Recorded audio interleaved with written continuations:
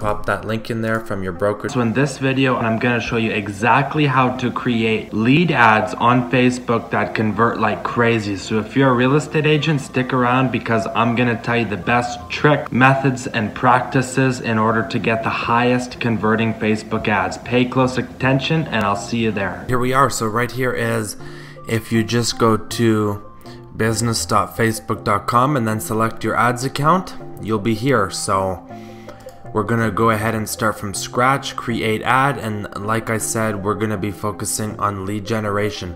So lead generation is just simple. It has a built-in uh, lead form on Facebook. So instead of, you know, where they go to your website with a landing page, this is directly on Facebook. And when they click it, it imports the information that they already have saved on their Facebook profile. So it is more likely to be accurate just because it's automatic and it's easy, but it is also possible that they have outdated or inaccurate information on their account. So there will always be a few leads that aren't, you know, all the way there, but you know, these are very inexpensive leads on Facebook, so I definitely recommend you do it. Then you just have to have really good follow up and you'll be able to close some deals. Okay, so since this is real estate, we can go new campaign. So let's say you're gonna offer, you know, I have a video about lead magnets. I'll put a link below so you can see some examples of some lead magnets, but I'm just gonna do list of homes for this one.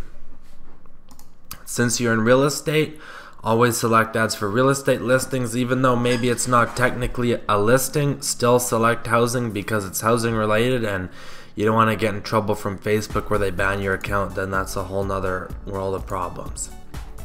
Okay, so don't worry about any of the campaign, cam uh, campaign details, A-B test, or optimization. Just go ahead and click next.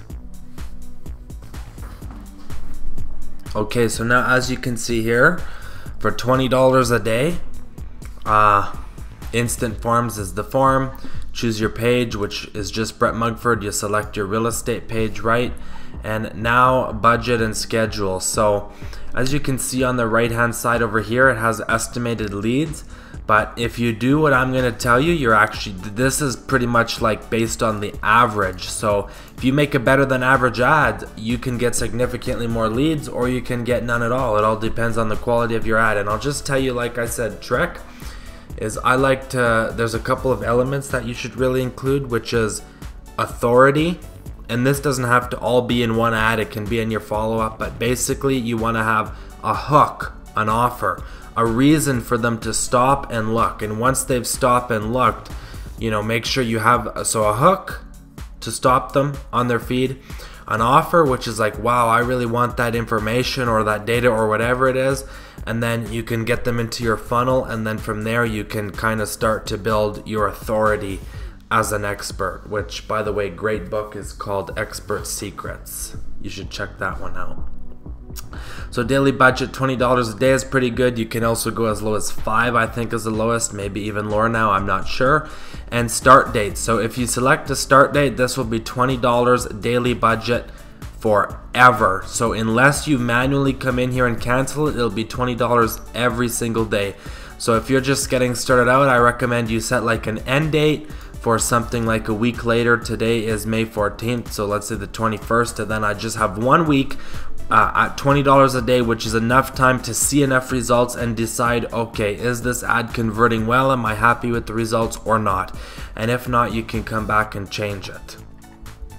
Okay, so custom audiences, I'm not going to get into that in this video, but with this special ad category, you cannot select by age or gender, but it's very important that you do select your city. Oh, right here, location. So Canada, we don't want all of Canada or all of the US wherever you are so you want to click X on that get rid of it and then you can select whatever location you're in so for me that's Edmonton here because of the special ad category you can't you can have uh, a minimum of a 15 mile radius so that's a pretty big radius but that's fine because you know we serve all that area and the majority of the people are closer towards the middle here so that's fine. If there are some leads that come way further out where I don't serve, maybe you can give that to one of your colleagues and get a referral fee. So leads are leads, you know, you want leads, leads are the good stuff. If you're in the US, demographics, interests, or behaviors. So in there, you can put in stuff like maybe they're interested in Zillow, Realtor, maybe they're interested in real estate. And also I'd go on here and I'd select manual placements because automatic is just gonna place it all over the place. We're only creating one ad with a picture.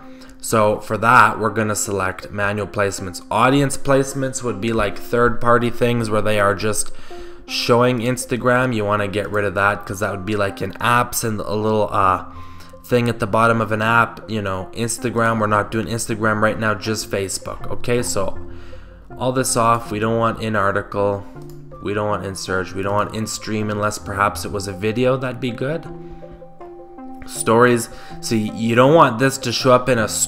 We're gonna just creating a picture ad and as you can see on the right here we recommend full screen vertical we're not doing that today so do not select Facebook stories we're only doing within the Facebook feed so get rid of video columns marketplace is good newsfeed is good and you can even test Instagram feed if you want I wouldn't recommend it because keyword is all about audiences. You have to know your audience and you have to have a hook and offer that's relevant to that audience. So then click next that's the targeting, and now it takes us to the ad. So right here is single image or video. So what you can do is create ads, single image or video, or carousel if you wanted to have multiple. So if you're doing a lead ad, that's for example, uh, you know, information on your listings, you can actually select as you can see right here, carousel cards, one, two, three cards, and you can have a different headline, description, and URL for each. So if you have a few listings, you can add the, you know, hero shot of each image, a little description of it, and the URL, and you can have all your listings in one ad. Or you can even talk to your brokerage and get the best deals and put those just to generate leads, take them to look at that property, and then they become your lead and hopefully your buyer on that property or even another one. So in the picture here, for I would just recommend a single image to keep it super simple. And let's say we're gonna do our lead magnet is gonna be a free list of homes. So let's say it's a free list of homes. I know most brokerages will have some sort of website where you actually have the IDX feed. So just as an example here, I'll show you realtor.ca and it would be something similar so I don't know let's just go Toronto.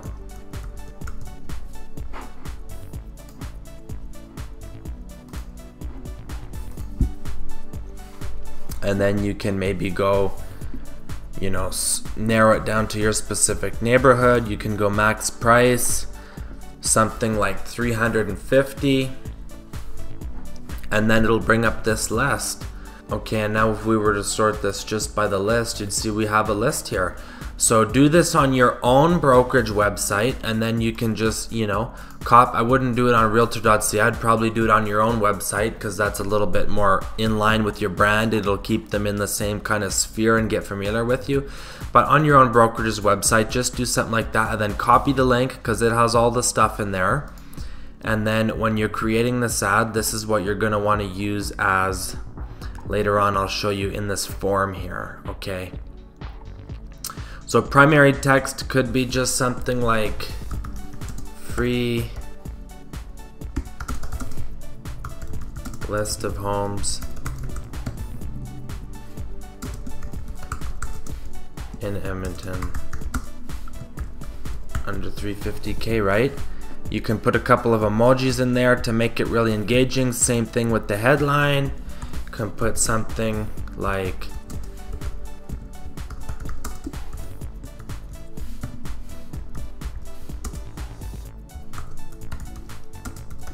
download your free guide now then you can have an emoji pointing to the sign up button which we're going to change to download.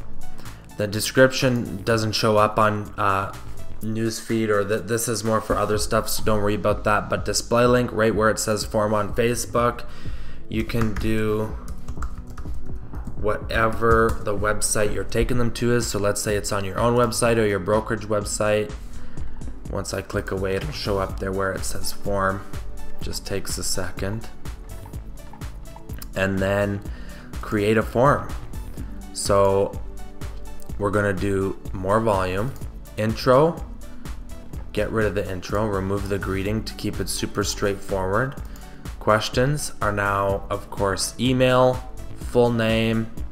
You can add phone number if they're in there if you want. Like I said, it's auto populated. And make sure you have a message. So just put something like, please confirm your info.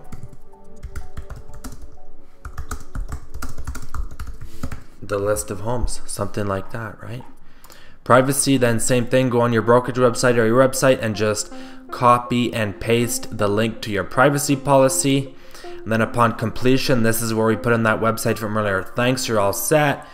You can now download the list. And then you can make this down here called to action button. Oh, you can make it download.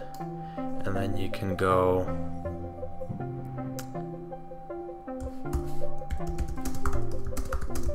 and you know make it capitals so it looks nice. Click here to download the list of homes. Boom right? Then you just pop that link in there from your brokerage or your own website. Hit publish and of course you need the privacy policy in there but once you do that it'll all be good to go. About the image make the image something interesting. So it could be super simple. Don't make it look like an ad make it look like something they'd see in their feed. So it could even be you know some people a couple standing in front of the home like they just bought the home. It'll look interesting like maybe one of their friends just bought a home and then they're going to stop and look and see who is it. Then you kind of get them with your ad. So that's a good hook. Or you can simply just have a picture of a really great looking listing from your brokerage or your own and put that there. Anything eye-catching. You know you don't have to overthink it. Keep it simple and just take action because doesn't have to be perfect uh, as long as you take action because perfect never gets done. Okay, so now click right here to watch the video about lead magnets, different things you can put in your ads, or click over here to watch how to create retargeting ads and automatically follow up with all those people that you've now got into your traffic, into your funnel automatically for pennies, even fractions of a penny per impression, and I'll see you there.